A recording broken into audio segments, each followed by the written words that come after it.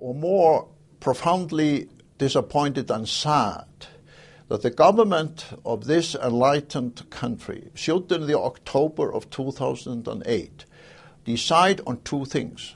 One was to employ the terrorist legislation which was created to defend against Al Qaeda and Taliban against Iceland and put my country, the government, and the entire system on the, on the official website, the British government website, side by side with Al Qaeda and the Taliban. And the second thing was that Gordon Brown, in October and Alistair Darling went on global television, including CNN, and stated that Iceland was a bankrupt country, which was utter nonsense at its best, financial terrorism on their part at its worst.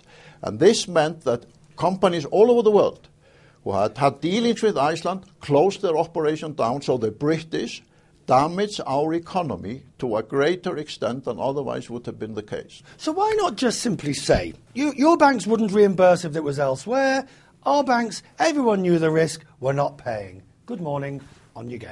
Well, there are a number of people in my country who are saying exactly that. Why don't you do who that? Who are saying that ordinary people, taxpayers, should not be you're put being, in a position to show bullied. That, yes, but Iceland's being bullied at the moment. Of course, we are being bullied. Of course, and the, the, British and the Dutch are using their influence within the IMF to prevent the IMF program from from going forward.